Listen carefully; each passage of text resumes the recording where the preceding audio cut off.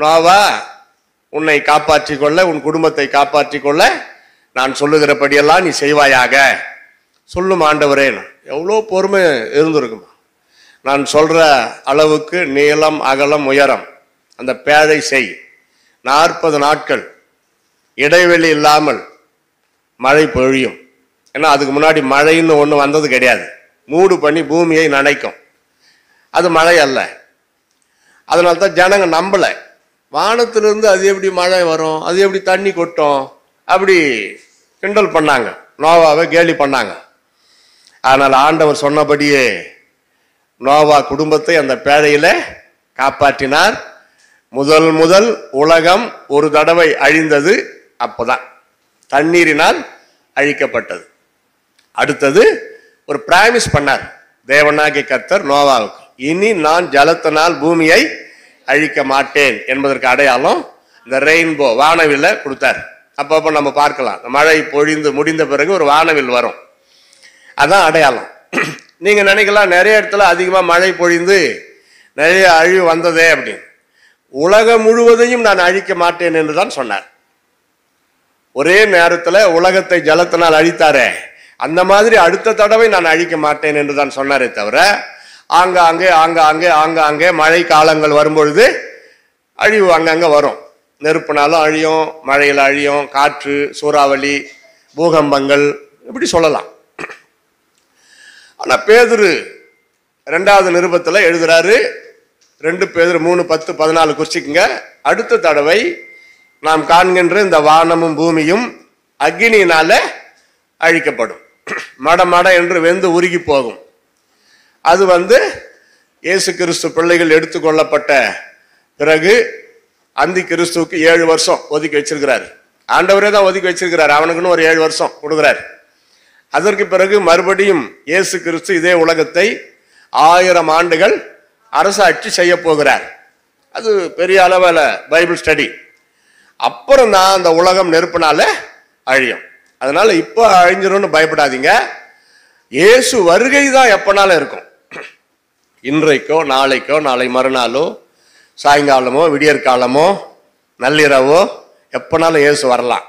ஏன்னா சுவிசேஷத்தம் பிரசங்கிக்கப்படும் உலகம் ஃபுல்லான்னு பிரசங்கிக்கப்பட்டாச்சு.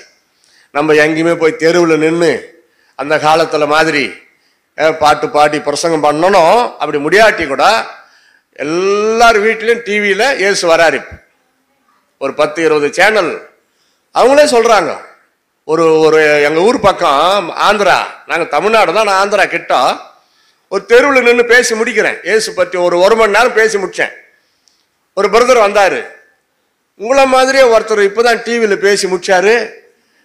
நீங்கள் வந்து இங்கே தெருவில் நின்று பேசினுக்கிறீங்க.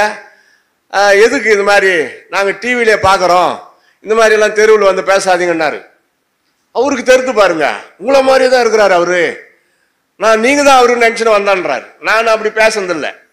தமிழன் தொலைக்காட்சியில் ஆரம்ப காலத்தில் கொஞ்சம் அழைத்து பயன்படுத்தி பேச வச்சு அது போட்டு விட்டாங்க மூணு மாதம் ஃபோன் பண்ணி கூப்பிட்டாங்க எனக்கு. ஒரு அரை மணி நேரம் பேசணும் தமிழன் தொலைக்காட்சியில் இயேசு பற்றின்னு. என்கிட்ட பைசா இல்லை கட்டுறதுக்குன்னு இல்லை இல்லையா ஃப்ரீ தான் வாங்கினாங்க பேனா டை ஒன்று எடுத்துக்கின்னு உடன்ட்டேன்.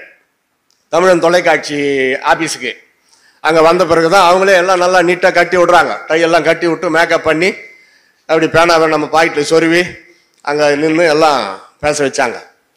பேசி எல்லாம் முடிச்சதும் எதனா ஃபீஸ் கட்டணுமான்னு. இல்லை இல்லை சார் பரவாயில்ல. அந்த பேனா மட்டும் கொடுத்துருங்க எனக்கு கொஞ்சம் உங்கள் ஞாபகார்த்தமானாங்க எடுத்து கொடுத்துட்டேன். நானே பேனா பிரியர் என்கிட்ட பேனா கேட்டார். சரி கொடுத்துட்டேன். வந்துட்டேன் பிறகு மூணு நாள் கழித்து போன் வருது. நாளை முதல் உங்கள் செய்தி. ஒரு நாளைக்கு அஞ்சு தடவை வரும். காலங்காத்தால் அஞ்சு மணிக்கு அப்புறம் பதினொன்றரை அப்புறம் ரெண்டரை அப்புறம் எட்டு நைட்டு அப்புறம் பத்தரை. அதே செய்தி. மூணு மாதம் போட்டாங்க. ஒவ்வொரு முறையும் அது ஒளிபரப்புறப்போ எங்களுக்கு ஃபோன் கால் வரும். ஏன்னா நான் பேசுகிறப்போ என் மேலே என்னுடைய அப்போல்லாம் மொபைல் ஃபோன் கிடையாது. வீட்டு வீட்டு ஃபோன் என்னப்பா அதுக்கு பேர்? லேண்ட்லைன் அது இப்போ சுருட்டி போட்டோம் எல்லாரும். லேண்ட்லைன் ஏதோ சில ஆஃபீஸில் தான் இருக்குது. அப்படி ஒரு அம்மா எப்பா மூணு மாசமா அதே சொக்கா அதே டை கட்டிக்கின்னு எப்படி நீ பேசின? அப்படின்ட்டாங்க. நான் என்னத்த சொல்றதுன்னே புரியல. இல்லைம்மா அழுக்கே ஆகலை அதனால தான் அதே போட்டுக்கிட்டு நான் பேசினேன்னு. வேற வழி. நல்ல வேலை அதே செய்தின்னு சொல்லலையே. ஒரு ஒரு முறையும் அதே செய்தி தான். ஆனால் அவங்க அதை கவனிக்கலை. அப்படியெல்லாம் அவ்வளோதான் அதுக்கப்புறம் எங்களது யூடியூப்பு ஃபேஸ்புக்கில் போதே தவிர டிவியில் தோன்றி நாங்கள் பேசியதாக இல்லை. நிறைய பேர் ஃபோன் பண்ணி கேட்பாங்க. ஒரே ஒரு அரை மணி நேரம் தான் அரை மணி நேரம் பேசுங்க உங்கள் ஊழியம் நீங்கள் பாட்டு ஜெபம் ஒரே ஒரு மூணாயிரம் ரூபாய் கட்டுங்க போதும்னு. அந்த மூணாயிரம் ரூபாய்க்கு நான் எங்கள் கிராமங்களில் ஒரு பத்து பேருக்கு சாப்பாடு ஆக்கி போட்டு கிராமத்தில் நான் சுவிசேஷத்தை அறிவிப்பேன். அந்த பணத்தை கொடுத்து நான் டிவியில் பேசணுன்ற அவசியமே இல்லை. ஓசியில் ஒன்றா கூப்பிடுங்க. நான் வந்து பேசுகிறேன் நீங்களும் எனக்கு காணி கொடுக்க வேணாம் நானும் உங்களுக்கு கொடுக்க மாட்டேன். அப்படின்னு சொல்லிட்டேன். அப்படிங்களாயா அப்படின்னா. அதனால் பிரயோஜனமான ஊழியம் நம்மளுக்கு கொஞ்சம் பைசா கையில் என்கிட்ட இருந்தால் த- கையிலே பிடிக்க முடியாது. கிராமங்களை தேடி செல்லுவோம். எளியோருக்கு கொஞ்சம் உதவி செய்வோம். அப்படியே அங்கே தெருவில் மைக் செட்டு போட்டு அவனுக்கு ஒரு ஆயிரம் ரூபாய் கொடுத்தா அட்டகாசமாக எடுத்தாந்து பிஏ சிஸ்டம் போட்டு செட் பண்ணி கொடுத்துருவான். ரெண்டு நாள் கூட அவனே இலவசமாக ஒரு நாள் கொடுப்பான். நீங்கள் செய்யுங்க ஐயா ஏசப்பா ஊழியம் அப்படி. ஒரு புறஜாதி மனுஷனுக்கு அவ்வளோ பெரிய சந்தோஷம். இப்படி தான் நாங்கள் திருப்தியாக ஆண்டவருடைய ஊழியத்தை செய்கிறோம் பிரைஸ்லாட் அலையலுயா